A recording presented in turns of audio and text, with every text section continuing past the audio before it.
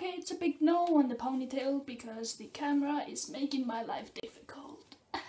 yeah, so then I'm gonna be teaching you how to do a art pot painting stuff. I don't know what's called, but it's like these ones I have in my room that I made like two years ago, like this zebra and an eye, I guess.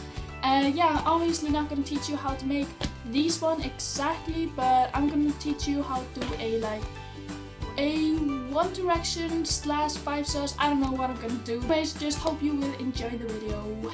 Let's go.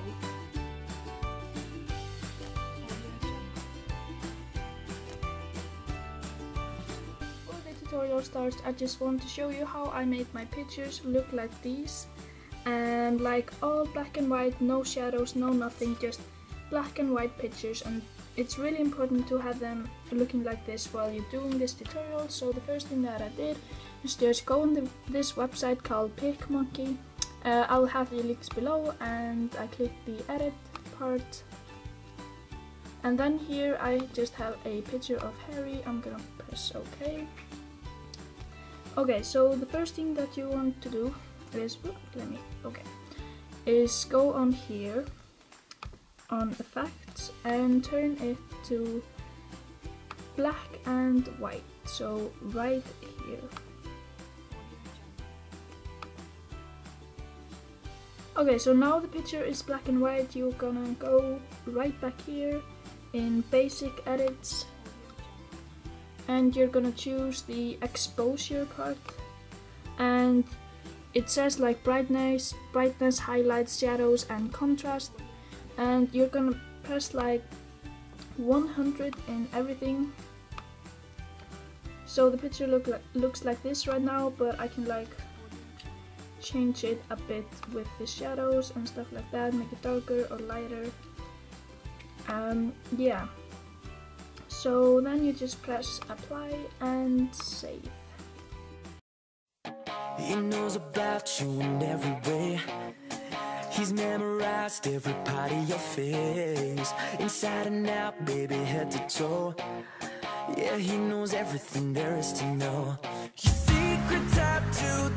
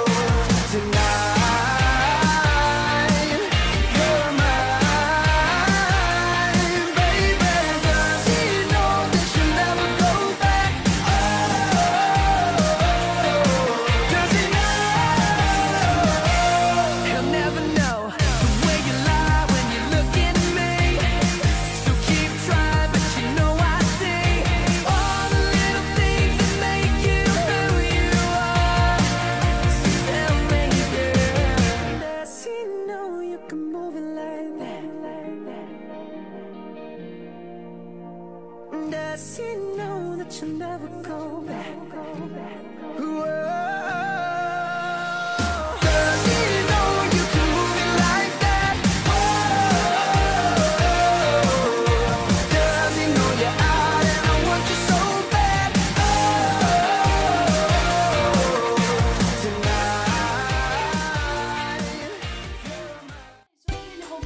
like this video, uh, give it a thumbs up, comment below your thoughts, you can follow me on Twitter, Instagram, Tumblr.